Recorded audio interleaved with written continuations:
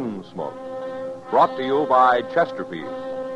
Chesterfield packs more pleasure because it's more perfectly packed, thanks to Accuray. They satisfy the most. Around Dodge City and in the territory on West, there's just one way to handle the killers and the spoilers, and that's with a U.S. Marshal and the smell of gun smoke.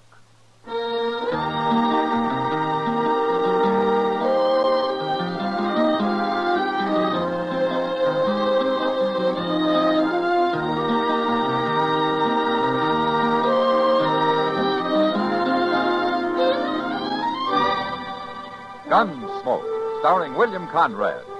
The transcribed story of the violence that moved west with young America. And the story of a man who moved with it. I'm that man, Matt Dillon, United States Marshal. The first man they look for and the last they want to meet. It's a chancy job, and it makes a man watchful and a little lonely.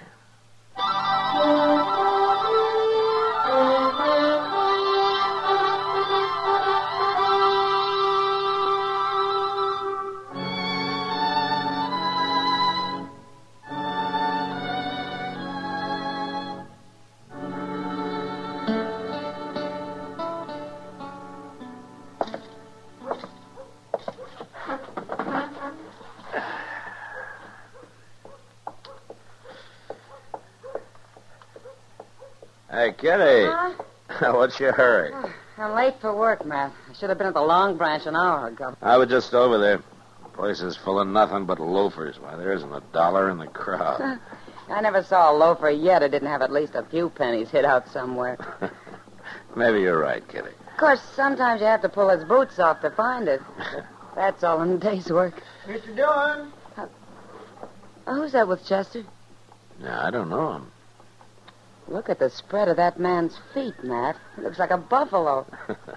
Yeah, they are pretty big, all right. Uh, I'll see you later, Matt. Okay, good luck, Kitty. Uh, Mr. Dillon, uh, this here is Mr. and Miss Jollop. Uh, How used do you do? Uh, the That's Jollops has bought themselves old Mather place down at the head of Salt Fork. Oh, well, that's about 60 miles south of here, isn't it, Mr. Jalop? Well, that's what they tell me, Marshal. Of course, we ain't never been there. We're on our way now. Well, you'll have a good neighbor down there, Miss Jalop. Bob Oren lives only about 10 or 15 miles from you. Well, uh, that's what they wanted to see you about, Mr. Dillon.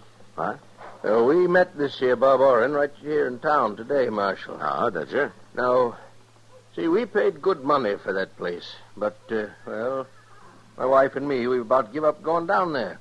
All we've been hearing about that country. And we met this Oren fella down the Santa Fe Depot today. Now, he said 'twas all lies. And they want you to tell them the truth, Mr. Dillon. Yes. What? Uh, the truth about what? About them Indians, Marshal. Them Comanches. Now, everybody but Bob Oren. Everybody says that country down there is just full of 'em. And he lives alone. He's got no woman with him. But me, uh, I didn't come west to get captured by no Indians. I've read about that. It's bad what they do to women. I don't intend to expose my wife to nothing like that, Marshal. We want you to tell us the truth, Marshal. You're the law here, and we'll believe you. Well, that was Comanche country, yeah, but it isn't anymore. I doubt if a single Indian's been seen down there for two or three years. They- They're all on the reservation now. Is that the truth, Marshal? You swear that's the truth? Well, you can go out to Fort Dodge and ask the Army. They'll tell you. No, no, we'll believe you. Well, you can believe Bob Oren. He's lived there quite a while. All right, then. Laura? Let's get going, Will.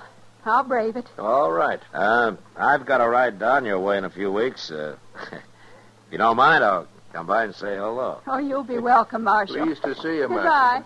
Goodbye. Bye. Goodbye. Ain't you taking a little too much responsibility for that, Mr. Dillon? Now, what do you mean, Chester? Well, how can you say every Comanche in the country is on that reservation? I think they're taking a big chance. Maybe Bob Oren ain't seen none, but that don't mean nothing, not when it comes to Indians. They're chancing the weather, too, Chester. And they know it. Yeah, maybe so. But I'm glad it wasn't me told him.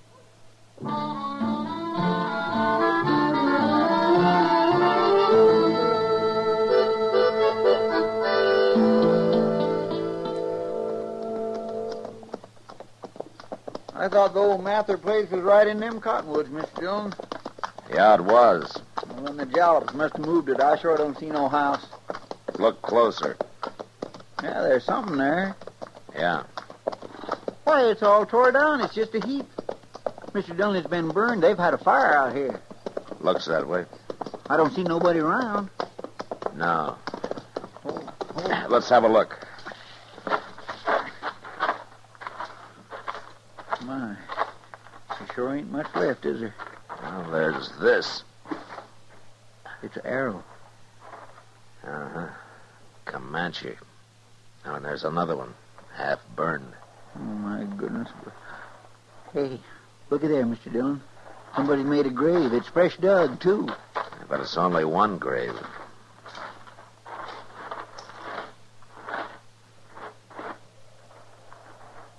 Ah, it's not very deep either. Just a few inches. You gonna dig it up? I gotta find out who it is, Chester. Oh. You mean if it's Mr. Jalop, then they took her alive? That's right. Yeah, but Comanches wouldn't bury nobody, Mr. Dillon. No, they wouldn't. It's her. She's been scalped. Oh, ain't that awful?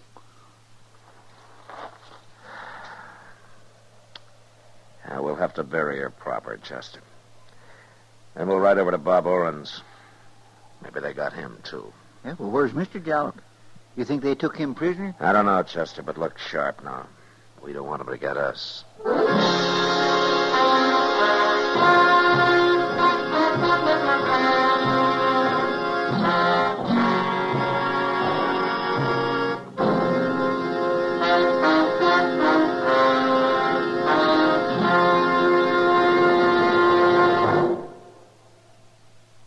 Heard Bobby Haggard whistling it on radio and television.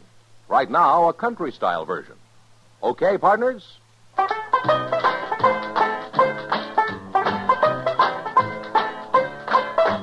Packs more pleasure, packs more pleasure. Chesterfield packs more pleasure because Chesterfield's more perfectly packed.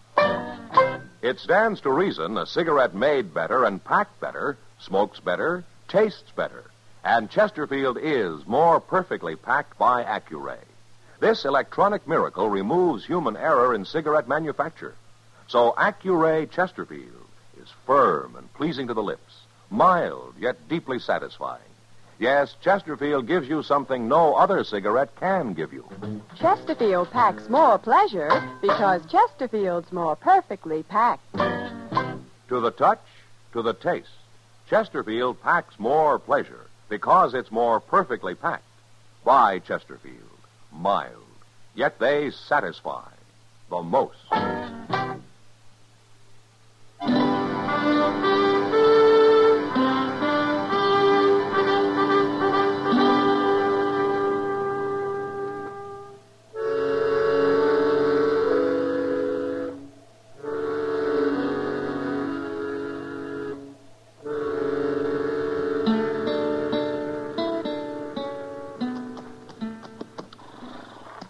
Time to the rail here, Chester. All right, sir. Well, Bob Oren's pretty lucky. Doesn't look like them Indians been anywhere near here.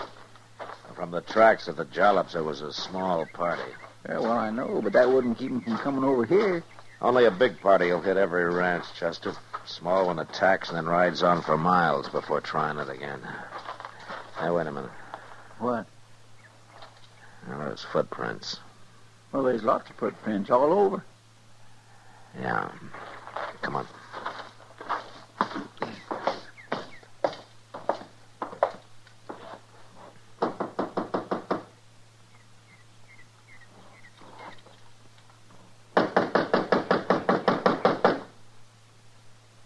I guess Oren ain't home. He's gotta be. Didn't you notice that saddled horse in his corral?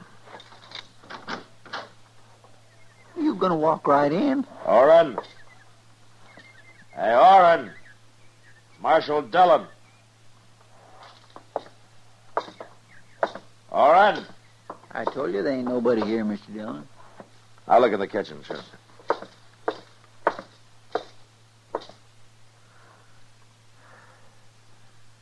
He's here, Chester. Quiet. It's Oren.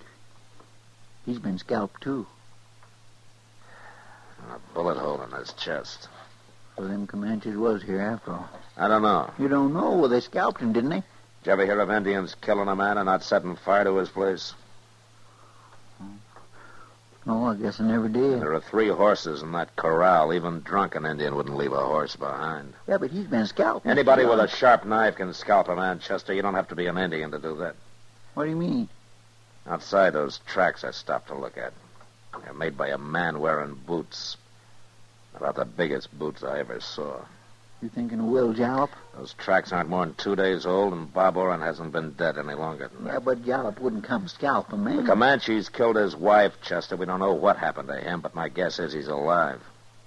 The Indians don't take male prisoners his age. But that don't say he done this to Bob Oren. Chester, there are only two people who told Jalop and his wife they'd be safe out here. Oren was one of them. Jalop's wife gets killed. He escapes somehow and comes here to take his revenge. He did to Oren what the Comanches did to her. That's awful hard to believe, Mr. Dillon. Well, he wouldn't be the first man driven crazy with grief. Well, maybe. And if it's true, I'm the next on his list. When we get back to Dodge, I got an idea Jalop will be there waiting for me.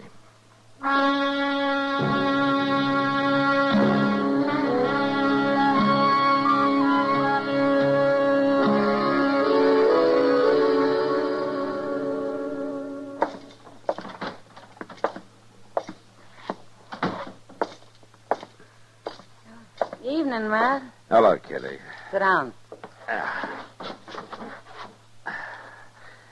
Oh, any coffee left in that pot? Sure. And here's an extra cup. Ah, thanks. You look tired. Well, we rode all night, Kitty. I haven't been to bed yet. Uh, no, Chester came in the Long Branch. No luck, huh? Ah, not so far. You could be wrong about him, Matt. Jollop might be in Colorado by now. Yeah, maybe. He might have killed Bob Oren, sure, but it's kind of hard to believe he'd come to Dodge looking to scalp a gun bearing U.S. Marshal. Well, I'm beginning to think maybe you're right, Kitty. Maybe I made a mistake about the whole thing. But somebody killed Oren. Yeah, they sure did. Guess I better go out there and have another look around. With all those Comanches on the warpath? I know there are only three or four of them, Kitty. Some young braves who jumped reservation last week. How do you know that? I reported the whole business to Major Honeyman at Fort Dodge. He told me about it. Well, even so, isn't he doing anything about him? Yeah? He put a company of troopers in the field, Sure. All they'll do is kick up a lot of dust. probably. Well, Kitty, I think I'll turn in for a couple of hours. I, I need some sleep. It's the best idea you had yet. When Chester comes in, will you tell him I've gone to my room? Huh? Yeah, I'll tell him that.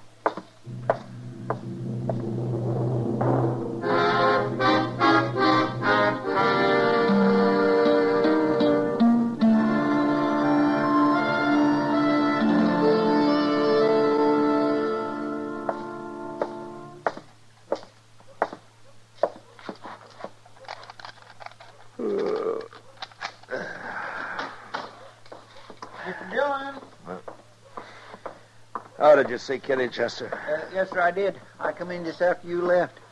I've been trying to catch you before you got to your room here. Oh, what is it? Did you find him? Uh, no, sir. No. Uh, what I wanted to know is, could I get some sleep, too? Well, of course, Chester. I thought you understood that. Well, then I'll go back to the office and lay down there. All right, I'll come by later tonight when I wake up, huh? All right, sir. I'll see you then. Yeah.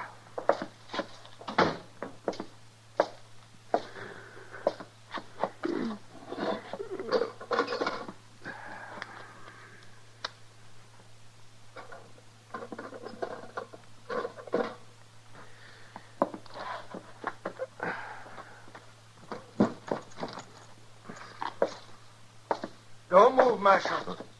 Just leave that gun there on the table. This here's a mighty short-barreled shotgun, Marshal. I stole it off of Bob Oren, and it's loaded with buckshot. I've been waiting for you. I've been waiting hours. Busted in the back window, if that's what you're wondering. No, that's not what I'm wondering, Jalop. What? I'm wondering how you got away from those Comanches. seen him coming. Climbed up one of them big cottonwood trees. They looked. They never found me. You mean you left your wife to fight him? I left her all right. You betcha I left her. Coward. Terrible, them Indians. It was terrible. But I fixed Bob Oren for it.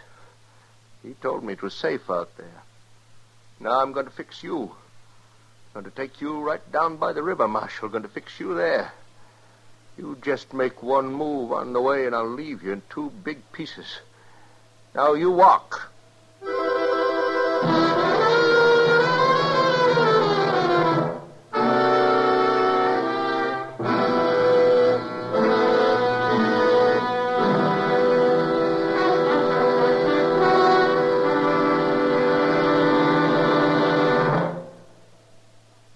Say, where are you listening to Gunsmoke?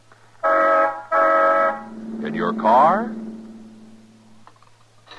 Getting ready for dinner? Oh, I see. Just relaxing in your favorite easy chair. Well, I'd say you're in a good spot right now to really enjoy a Chesterfield. You see, Chesterfield packs more pleasure because it's more perfectly packed. It stands to reason. A cigarette made better and packed better smokes better, tastes better. And Chesterfield is more perfectly packed by Accuray. This electronic miracle removes human error in cigarette manufacture. So Accuray Chesterfield is firm and pleasing to the lips, mild, yet deeply satisfying. Yes, Chesterfield gives you something no other cigarette can give you. Chesterfield packs more pleasure because Chesterfield's more perfectly packed. To the touch, to the taste, Chesterfield packs more pleasure because it's more perfectly packed. Buy Chesterfield. Mild, yet they satisfy the most.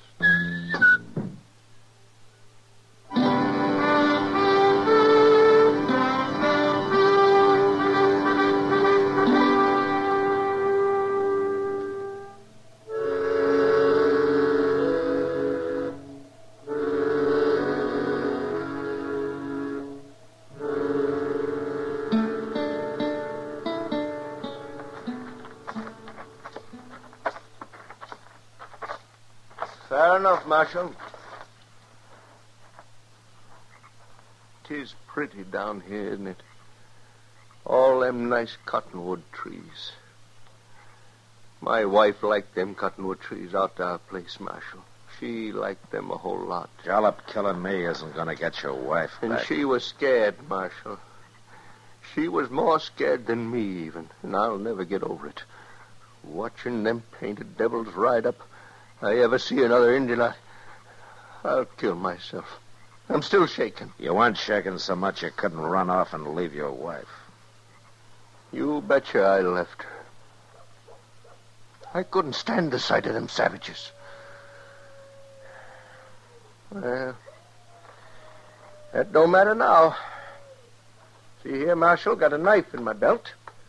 Good long knife, and you know just what I'm going to do after I shoot you. Wait don't a minute, you? be quiet. Don't you tell me to be Quiet, quiet. I said. Listen. What? There's something in that clump of elder on the riverbank over there. I don't see nothing. They're gone. You can't see them now, but they're out there. Wait a minute. They'll move any minute now. Who will, Marshal? What, what are you saying? Indians. There were three of them. They were standing right against the river. Oh, no. No, not Indians. Watch, right there. You see one of them standing up. You see him? Where? Show me, where is he? Shoot him, Jollop. Shoot him. Yes, I will. I, I can't see him. No, Give me the gun, Jollop. Hit me, Marshal. You was fooling. Let go of it. No, I...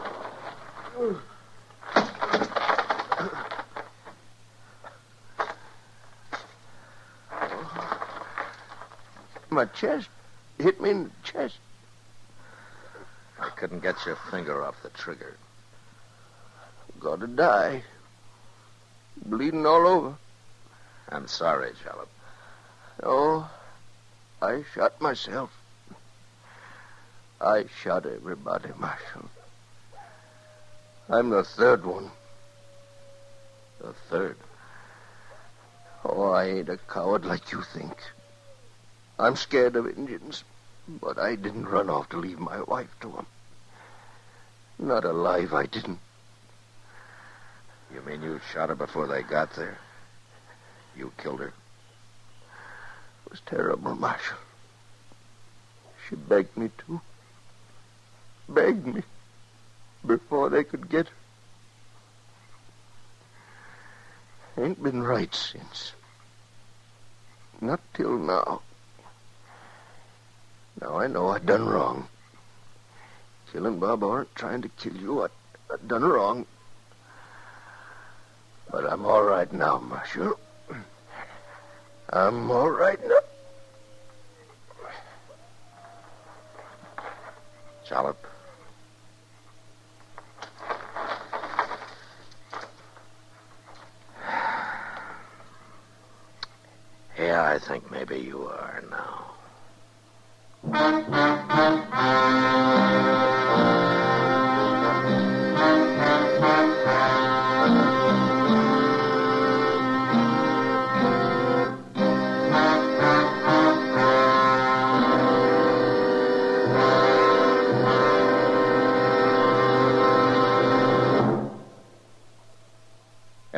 Our star, William Conrad. Chesterfield packs more pleasure because Chesterfield's more perfectly packed. A cigarette made better and packed better, smokes better, tastes better. And Chesterfield is more perfectly packed by Accuray. This electronic miracle removes human error in cigarette manufacture. So Accuray Chesterfield is firm and pleasing to the lips. Chesterfield, mild, yet they satisfy the most. You know, a horse and buggy frontier doctor was about the most useful and beloved citizen in any community. But next week, Dodge learns that a man has been killed and that it was Doc Adams who killed him. And that was the West. Good night. Gunsmoke, produced and directed by Norman Macdonnell, stars William Conrad as Matt Dillon, U.S. Marshal. Our story was specially written for Gunsmoke by John Meston, with music composed and conducted by Rex Koury. America's medical schools urgently need your help. Join the National Fund for Medical Education today. Write Medical Education, Box 313, New York City.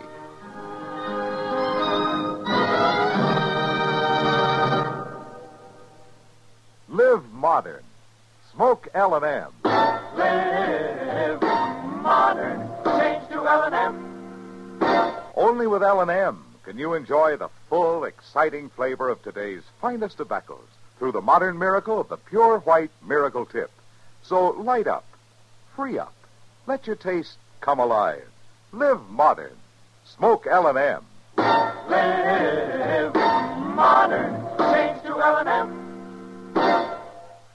Join us again next week for another specially transcribed story on Gunsmoke.